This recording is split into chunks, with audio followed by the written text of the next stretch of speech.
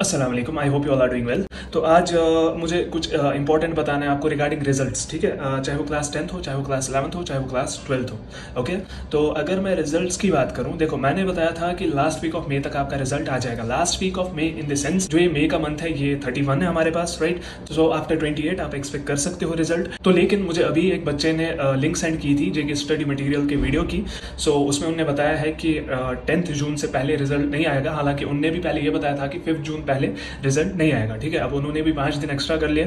तो अगर मैं बताऊँ हाँ कहीं ना कहीं वो भी सही है बिकॉज़ जो लेह लद्दाख के बच्चे हैं, उनका जो पेपर है वो पोस्टपोन हो चुका है, ठीक है? वो अब ट्वेंटी को है मतलब ट्वेंटी थर्ड आई गेस आज था, ठीक है? तो आज उनका पेपर था, उस चीज़ की वजह से मे बी आपका जो रिज़ल्ट है वो डिले हो सकता है बिकॉज़ वो क्लास ट्वेल्थ का पेपर है। एंड जो आपको जेके स्टडी मटेरियल बता रहे हैं लाइक like हर एक का रिज़ल्ट जो है वो सेम डेट को आएगा, चाहे वो हार्ड जोन हो या सॉफ्ट जोन हो, वो मैं भी आपको बता रहा था हार्ड जोन सॉफ्ट जोन का रिज़ल्ट इनको एक साथ डिक्लेयर करना है that's why it is taking time okay वरना इतना टाइम नहीं लगता था। अगर हम बताएँ पिछले ट्रेंड्स के हिसाब से 40 दिन के अंदर अंदर रिज़ल्ट आपका आ जाता था। तो अब जैसा कि उन्होंने बताया है जेके स्टडी मटेरियल ने लाइक टेन जून से पहले आपका रिज़ल्ट नहीं आ सकता। मैं मतलब ये बताऊँगा कि वो सही बता रहे हैं, लेकिन मैं ये भी बता सकता हूँ कि फ़र्स्ट वीक ऑफ़ जून से आप एक्सपेक्ट कर सकते हैं रिज़ल्ट दे लेकिन जो ये पेपर डिले हुआ है, अगर जेके पोस्ट वालों का यही प्लान है like Jammu division Kashmir division and हमारे पास लेह लद्दाख आता है, उनका एक ही दिन रिज़ल्ट निकालना है देन आपके रिज़ल्ट में और टाइम लग सकता है। ठीक है? अगर ऐसा नहीं है लेह लद्दाख का अलग से निकालना हो कश्मीर में हार्ड जोन साउथ जोन का अलग से निकालना हो, और जम्मू डिवीज़न का अलग से निकालना हो, तब पॉसिबिलिटी थी कि आपका लास्ट वीक ऑफ़ मे तक रिज़ल्ट आ जाएगा। मतलब 28 के बाद बाद रिज़ल्ट आपका आ जाएगा। अब मुझे ये भी बताना है, अगर ट्वेल्थ का रिज़ल्ट डिले हो रहा है दैट मीन्स टेंथ का भी हो जाएगा दैट मीन्स इलेवंथ का भी हो जाएगा, ठीक है? तो मुझे यही चीज़ बतानी है, लेकिन मैं ये बात भी बताऊँ इट इज़ नॉट फेयर ठीक है? कि अगर आप रिज़ल्ट निकालने में इतना टाइम दे रहे हो, बच्चों का मतलब एक मेंटल स्टेट होती है, बच्चों का। मैं कितना भी आपको बताऊँ लाइक आपको जो दानिश साहब है मतलब जेके स्टडी मटेरियल वो भी आपको बता रहे हैं कि आप अपने एग्जामिनेशन पे फोकस करें, जो आपका नेक्स्ट एग्जामिनेशन है। मतलब ये बताना आसान है, मैं भी बताऊँगा आपको कि आप अपने एग्जामिनेशन पे फोकस करें, जो आपका नेक्स्ट है फॉर एग्ज़ाम्पल सीयूटी है।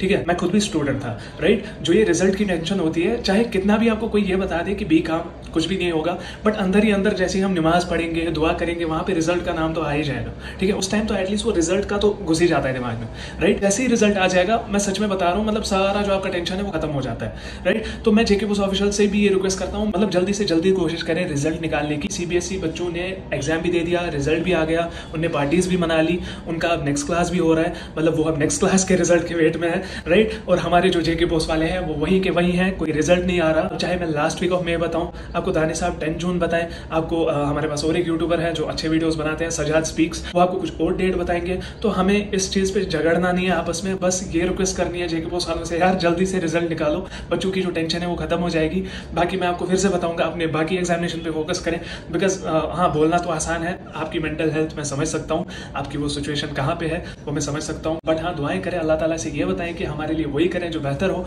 ओके सो बाकी देखो, जब भी रिज़ल्ट आना होगा, आ जाएगा हाँ मैं इतना बता सकता हूँ ट्वेंटी के बाद मतलब ट्वेंटी मई के बाद बी रेडी ठीक है?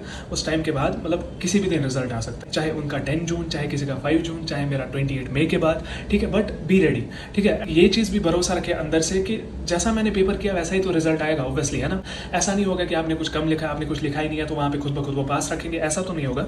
मतलब जिसने जैसा लिखा होगा, वहाँ पे उतने ही मार्क्स भी आ जाएँगे। मतलब अपने आप पे भरोसा रखें, मैं इतना बताऊँगा। अल्लाह ताला से मांगे कि जो मेरे लिए हो, वो सब बेहतर हो। ठीक है?